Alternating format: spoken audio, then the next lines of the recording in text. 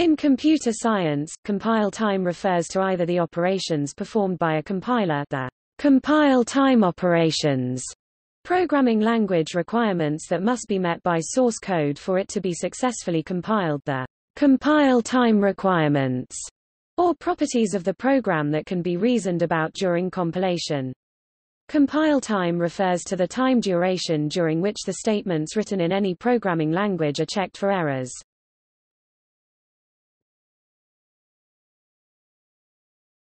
Topic. Overview The operations performed at compile time usually include syntax analysis, various kinds of semantic analysis e.g., type checks and instantiation of template and code generation. Programming language definitions usually specify compile time requirements that source code must meet to be successfully compiled. For example, languages may stipulate that the amount of storage required by types and variables can be deduced.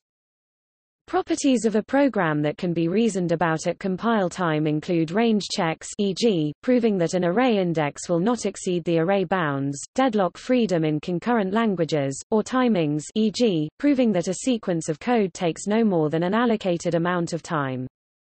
Compile time occurs before link time when the output of one or more compiled files are joined together, and runtime when a program is executed.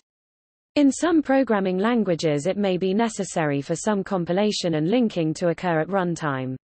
There is a trade-off between compile time and link time in that many compile time operations can be deferred to link time without incurring extra runtime. Compile time can also refer to the amount of time required for compilation.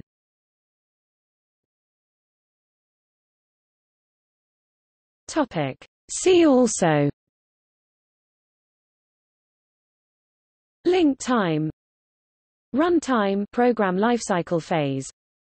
Compiling. Type system. Just-in-time compilation